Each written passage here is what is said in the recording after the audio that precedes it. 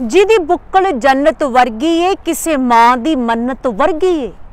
ਜਿਹਦੀ ਬੁੱਕਲ ਜੰਨਤ ਵਰਗੀ ਏ, ਕਿਸੇ ਮਾਂ ਦੀ ਮੰਨਤ ਵਰਗੀ ਏ। ਜਿਹੜਾ ਧੁਰਾ ਹੈ ਟੱਬਰਦਾਰੀ ਦਾ, ਜਿਹੜਾ ਥੰਮ ਹੈ ਜ਼ਿੰਮੇਵਾਰੀ ਦਾ।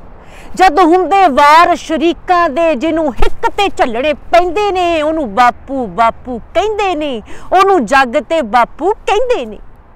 ਜਿਹੜਾ ਮਾਲੀ ਬਾਗ ਦੇ ਰੁੱਖਾਂ ਦਾ, ਜਿਹੜਾ ਮਾਣ ਹੈ ਧੀਆਂ ਪੁੱਤਾਂ ਦਾ।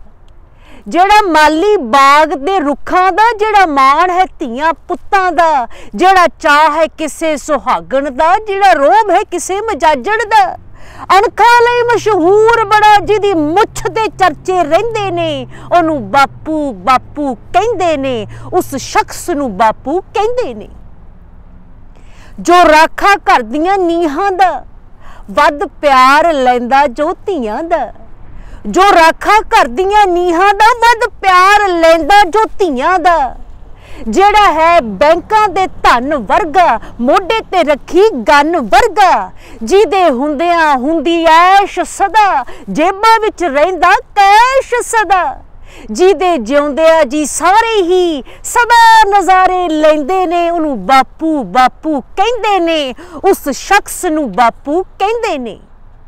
ਜਿਹਦੀ ਘੂਰ ਲਿਆਕਤ ਦਿੰਦੀ ਏ, ਸ਼ਾਬਾਸ਼ੇ ਤਾਕਤ ਦਿੰਦੀ ਏ। ਜਿਹਦੀ ਘੂਰ ਲਿਆਕਤ ਦਿੰਦੀ ਏ, ਸ਼ਾਬਾਸ਼ੇ ਤਾਕਤ ਦਿੰਦੀ ਏ। ਜਿਹਦਾ ਦਬਕਾ ਸਬਕ ਸਿਖਾ ਜਾਂਦਾ, ਜਿਹਦਾ ਛਿੱਤਰ ਰਾਹੇ ਪਾ ਜਾਂਦਾ ਜਿਹਦੇ ਹੁੰਦਿਆਂ ਕੋਈ ਝਾਕਾ ਨਹੀਂ, ਨਾ ਫਿਕਰ ਤੇ ਕੋਈ ਫਾਕਾ ਨਹੀਂ। ਉਹਦੇ ਕੱਪੜੇ ਭਾਵੇਂ ਸਸਤੇ ਨੇ, ਪਰ ਨਖਰੇ ਥੋੜੇ ਮਹਿੰਗੇ ਨੇ। ਉਹਨੂੰ ਲੋਕੀ ਬਾਪੂ ਕਹਿੰਦੇ ਨੇ, ਕਈ ਡੈਡੀ ਪਾਪਾ ਕਹਿੰਦੇ ਨੇ, ਉਹਨੂੰ ਲੋਕੀ ਬਾਪੂ ਕਹਿੰਦੇ ਨੇ। ਜਿਹਦੀ ਪੱਗ ਚੋਂ ਅਣਖਾਂ ਝਲਕਦੀਆਂ, ਜਿਹਦੀ ਅੱਖ ਚੋਂ ਮੜਕਾਂ ਛਲਕਦੀਆਂ ਜਿਹਦੀ ਪੱਗ ਚੋਂ ਅਣਖਾਂ ਝਲਕਦੀਆਂ, ਜਿਹਦੀ ਅੱਖ ਚੋਂ ਮੜਕਾਂ ਛਲਕਦੀਆਂ। ਦਾੜੀ ਦੇ ਮਤਲਬ ਵੱਡੇ ਨੇ, ਜਿਹਦੀ ਮੁੱਛ ਨੇ, ਸਿਰ ਵੀ ਵੱਡੇ ਨੇ। ਜਿਹੜਾ ਗੇੜੀ ਵਾਂਗੂ ਗਿਰਦਾ ਏ, ਦੁੱਖ ਮੋਢੇ ਚੱਕੀ ਫਿਰਦਾ ਏ।